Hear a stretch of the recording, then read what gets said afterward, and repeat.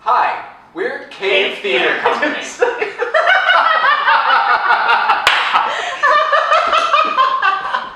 That's great. Hi, we're Cave Theater Company. And we're here to tell you about our very first production, not very. Our first production. Cut. What does it mean to be brave? What is honor in a contemporary context? Context. what is honor in a contemporary context? How do you choose your battle when the lines aren't clearly drawn and there are no uniforms? And I, I when flipped there's all that around. motorcycle. I flipped all that around. I It was in context. context, too.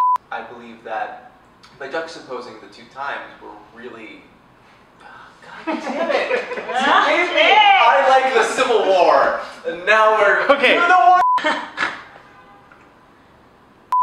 Which is something he explores in uh, 1960 or 1963. All right, let me cut that.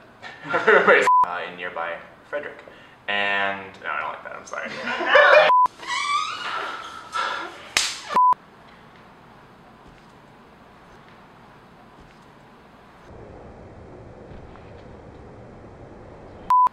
I'm particularly drawn to the Civil War aspect of it. I'm fascinated by a time in our history when our nation was completely divided, and I think we are heading. I can't now. Crap.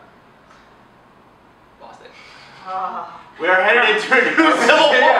I know. I was like, oh, Everybody, no, run! I was like, oh, no.